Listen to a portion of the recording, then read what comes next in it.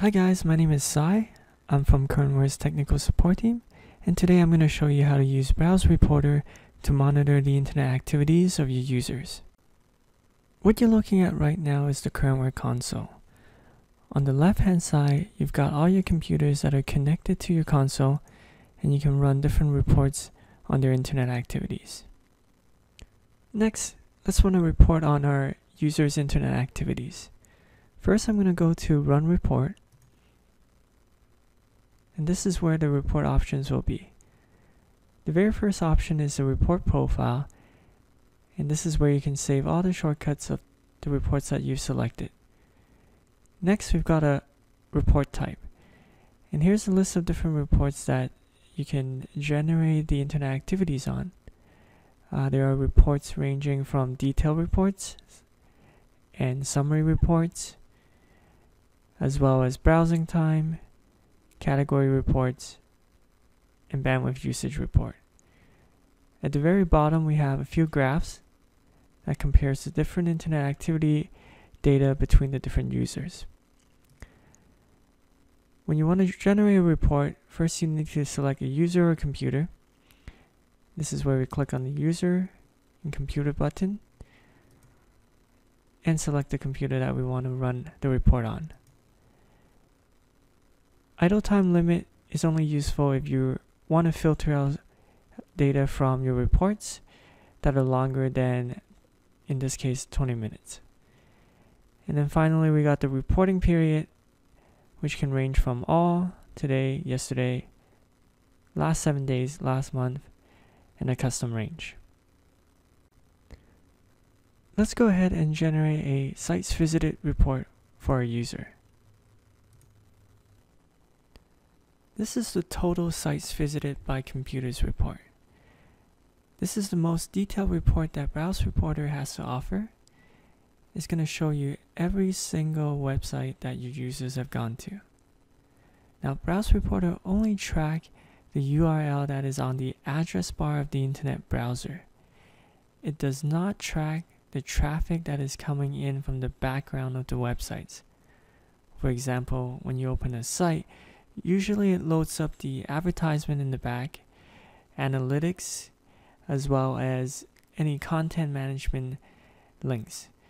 Those will not be tracked by Browse Reporter, and in turns, you're going to get a much easier to read report and a report that shows you exactly what sites that your users have gone to. The benefit of a report like this is that managers will be able to find out if their employees are actually working during office hour. Looking at the websites, you'll be able to see if they're going to websites that are not related to work um, and are distracting. So this gives the manager the ability to make a decision on what to do to minimize the distractions that the employees are getting during office hour. On the right hand side, you're going to notice two columns related to time. Active time and total time. Now let's explain what total time is first. Total time is the amount of time that you spent on a website from the second you enter the page to the second that you leave the page. So it is the total duration of the website being opened. On the other hand, active time will only track the time when the website is active. And what I mean by active is that the website is sitting on top of other uh, websites, is sitting on top of other tabs, or if it's sitting on top of, of an application. When a user switch from that website to a different page or a different tab or a different application, active time will pause the tracking for that session. So it is smart enough to only track a website when it is active. This is the most accurate way of Browse Reporter tracking the time and is going to give you a fair number of how long your users have been spending on a particular website. For the next report, we're going to look at a summary report. This is the top domain by browsing time report and this is going to give you a one page summary of the websites that your users most frequently visit. For this user, you're going to notice on the very top a bunch of websites that are not work related. So from this one page summary, you can tell that this user hasn't really been productive during this time period. Now keep in mind that any reports that you generate with Browse Reporter can be sent directly into your email. So this would be a very great weekly report that you can get in your inbox just to understand if your employees are working away on their computers um, and seeing if they're productive during work hours. Here's a report called URL Categories by Computers. This report is very similar to the sites visited report that we saw earlier, with the exception of the category column and the status column.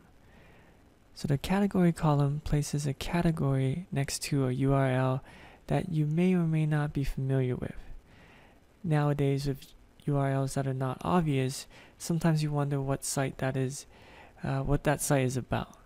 So having a category next to it can really help you identify if the site is work related or not. The column for status tells you whether that website is allowed in browse control. So browse control is a web filtering solution that you can pair up with browse reporter to start blocking websites that you don't want your users to go to. And in this case, these websites are allowed from browse control and are not being blocked at the moment. There are three bandwidth reports that come with Browse Reporter. You're looking at the daily bandwidth usage report. This will show you the data that's being sent and received on a daily basis. You get to see the data from every single day and how much data is being sent and received. The second report shows you the URLs that are attached to the bandwidth.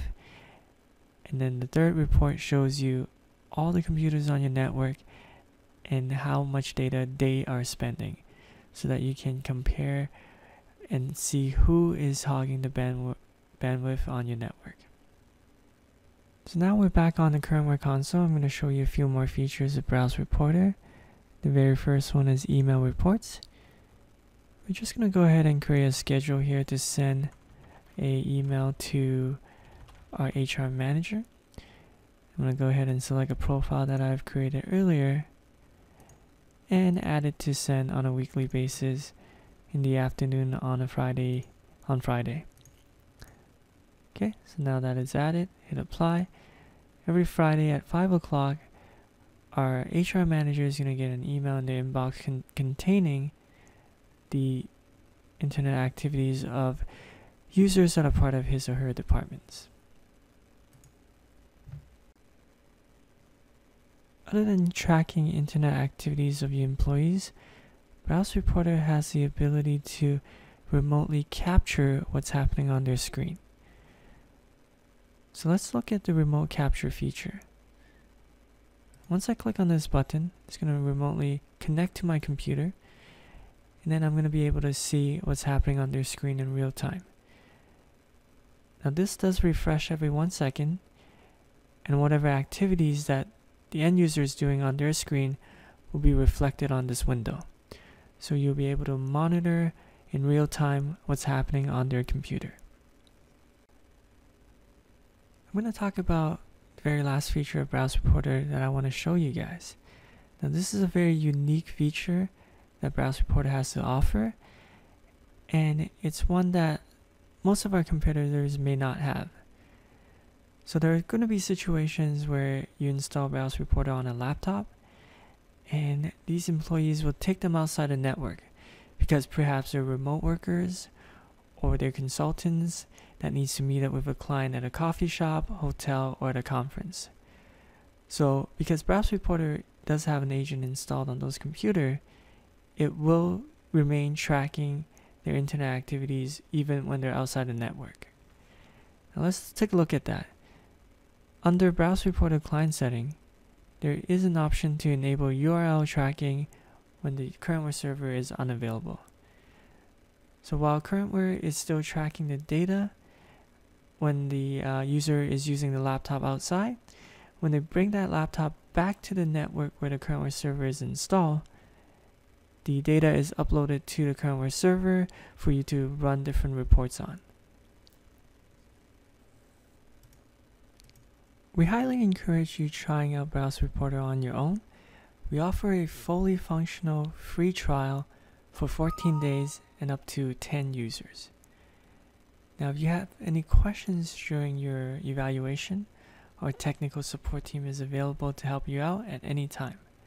So feel free to email us, give us a call, or even go on our website to open a chat with us. And we really want you to use Browse Reporter to understand your employees' activities and improve on the productivity of your network. Thank you guys so much for your time, and we hope you enjoy the product demo.